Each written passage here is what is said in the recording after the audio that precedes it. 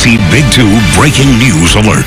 And another breaking news alert now at 6. A West Texas high school teacher has been arrested for an improper relationship between educator and a student after an anonymous tip.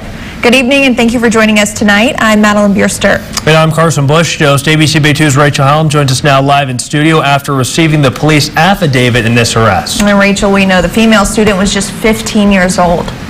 That's right, Carson and Madeline. On Monday, Forsan ISD received an anonymous tip about an educator having an inappropriate relationship with a Forsan high school student. Forsan ISD said they then notified the Big Spring Police Department, and on Tuesday, police arrested 23-year-old Kendall Phillips.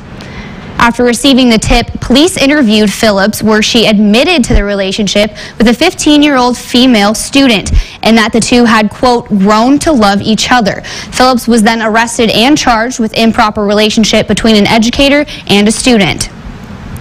During that interview with police, Big Spring PD said she admitted to exchanging nude photographs with the student back and forth and having sexual relations with the teen girl on multiple occasions. Phillips said she and the student's relationship began before the school year started this summer and continued after school had started in August.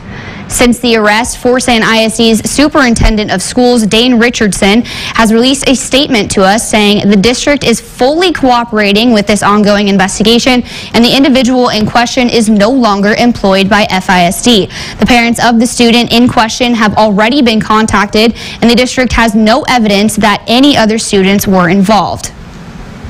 Now, as of right now, the investigation is ongoing and we will update the story as it develops. Live in studio, Rachel Hallam, ABC Big 2 News.